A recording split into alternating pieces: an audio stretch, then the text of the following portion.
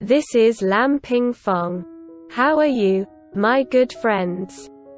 Recently, I posted my stomach cloth wrapping technique to prevent coughs, vomiting and diarrhea, and stomach ailments. I have discovered this method for more than 30 years. I didn't know the effective of this method to cure so many ailments, which surprised me. I suggest that if you go out for a trip, whether you are an adult, a child or an elderly person, it is best to cloth wrap your stomach. Wrapping your belly can maintain a temperature. If you suddenly go to an air-conditioned place, the temperature of your body will change which can affect your physical condition. This can protect the body against ailment.